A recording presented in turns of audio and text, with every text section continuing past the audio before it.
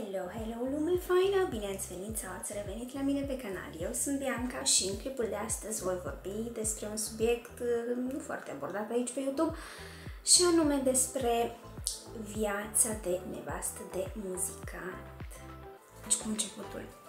Ideea asta, ideea acestui clip mi-a venit uh, de la o vorbă care mi-a spus-o cineva și vorba sună cam așa. Numai lăutar sau fotbalist să nu-ți iei îndrăznesc să contrazic această vorbă, e doar o vorbă. O fi zis-o cineva care a pățit-o sau n-a știut ce și ea. Dar uh, în cazul nostru nu este valabil. Înainte să vă spun cam în ce constă viața asta de nevastă de muzicant, că nu e mare vasis de asta, așa cum credeți voi, uh, vreau să vă fac cunoștință cu noi ca și cuplu. Noi suntem împreună de uh, 3 ani, căsătoriți de 2, uh, lucrurile s-au mișcat foarte repede la noi. Uh, îl cunosc pe soțul meu din totdeauna. N-aș putea să spun când a fost prima noastră întâlnire pentru că eram muce de copil, adică nu știu.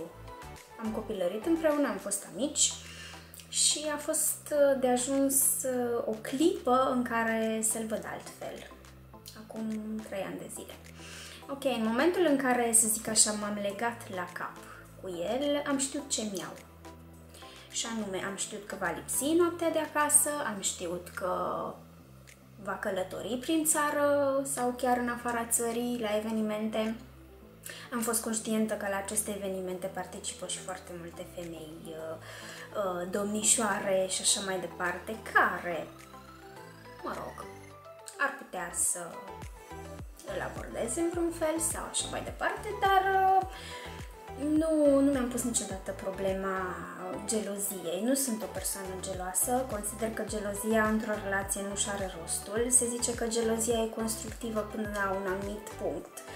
Ei bine, da, poate am acolo o formă de gelozie, dar nu i-aș spune gelozie, aș spune oarecum teamă de a-l pierde, poate. Bineînțeles, lucru care nu doresc să se întâmple. Uh, da, deci l-am luat cu cu totul. Bine, în momentul în care ne-am căsătorit, eu deja am fost obișnuită cu toate mersurile și veniturile și stat peste noapte și așa mai departe. Ce e nasol ca soție în toată treaba asta e faptul că nu ai un weekend uh, împreună cu el, pentru că cel puțin soțul meu, joi, vineri, sâmbătă și duminică uh, cântă într-un club deci weekendurile pentru noi nu sunt weekenduri, noi ne vedem doar pe parcursul săptămânii și putem să stăm mai mult împreună.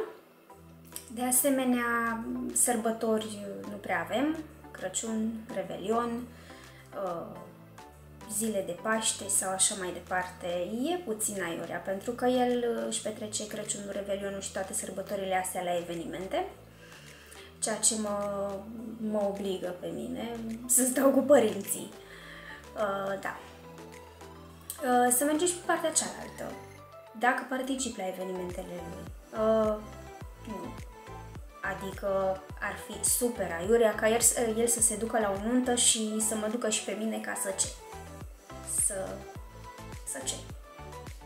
Mi se pare aiurea, da, știu, sunt uh, cazuri în care muzicantul își duce soția după el peste tot și chestia asta nu mi se pare deloc sănătoasă într-o relație, adică dacă l-ai luat, da, l-ai acceptat cu, cu toate, ai acceptat și ideea că el lipsește noaptea de acasă și așa mai departe, că tu te plictisești, păi, îți găsești, e o ocupație, o altceva.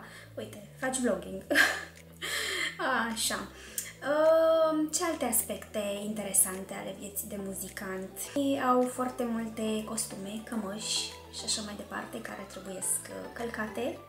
Da? Deci nu e, nu e totul roz. Uh, are zeci, zeci de costume și cămăși și veste și tot ce vă puteți imagina și nu vă puteți imagina, dar uh, spre norocul meu uh, și le face Însă, cunosc alte cazuri în care soția stă toată ziua cu fierul de călcat în mână și haidai la o cămașă și la două și la trei și așa mai departe. Pe partea asta cu vestimentația mă ocup de spălatul lor. Da, sunt multe, mai ales după un weekend, sunt cel puțin 4-5. le spală, le pun la uscat, le pun la îndemână și el se descurcă mai departe. Deci e, e ok.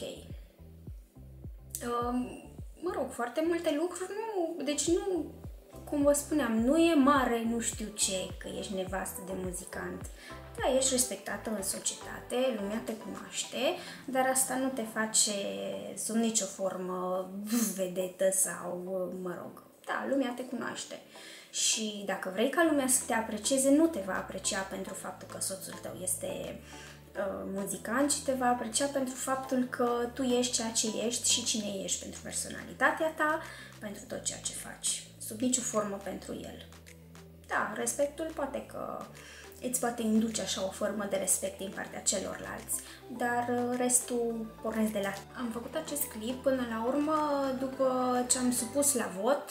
Um, aveam două variante să vorbesc despre pasiunea mea pentru negru sau uh, despre viața de nevastă de muzicant.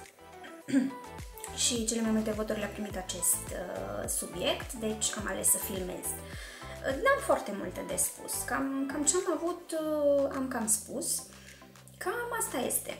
Acum așa, știu, un fel de consiliere de cuplu. Uh, înainte să iei un om, trebuie să te gândești foarte bine dacă ești în stare să-i accepti toate uh, mofturile, toate obiceiurile și așa mai departe. Și Aici nu mă refer numai și numai la muzicanți, mă refer în general. Adică trebuie să-l cunoști pe omul ăla și să stai să pui în balanță, mai sunt în stare să accept aceste lucruri pentru tot, tot restul vieții mele sau nu. Și dacă, da, într-adevăr consider că ești în stare să accepti toate aceste lucruri, cum e în cazul meu, nopțile nedormite acasă, weekendurile care pentru noi nu există, sărbătorile în care nu suntem împreună, da, îl iei. Dacă nu, mai bine, nu știu, mai bine îți găsești un om dintr-un alt domeniu, eventual. Uh, beneficii? Mă rog, beneficiile financiare pe care orice job le aduce, dar alte beneficii n-aș putea să zic că sunt. Uh, și acum, așa ca și o încheiere, eu una mă declar fericită și mulțumită de relația de cuplu pe care o avem. Chiar dacă, v-am spus, există vorba aia că numai muzicant sau fotbalist să nu-ți iei, uh, nu e valabilă nu e valabilă. V-am spus, nu jobul care l-ai te face om, ci tu, cu personalitatea ta, cu, cu, cu tot ceea ce ai tu. Asta te face pe tine om, nu jobul pe care l-ai sau faptul că lipsești nopțile de acasă. Atâta timp cât îți vezi de treabă, nu are nimeni nicio treabă cu tine. Uh, văd că n-a fost atât de, de, de lung acest clip. Eu vă mulțumesc că a stat alături de mine până la capăt. Iar cei care ați, uh, ați intrat pentru prima dată pe canalul meu de YouTube, vă invit să vă abonați acestui canal, uh, să dați un like și cei care sunteți mai vechi, nu uitați de giveaway de pe Instagram, care oferă o grămadă de produse super, super faine de beauty. Uh, așa că vă aștept și acolo, Bianca Buie, am să vă afișez aici, da? Să mă găsiți cei care nu m-ați găsit deja. Și până data viitoare vă pup și aștept alte sugestii, sugestii de clipuri din partea voastră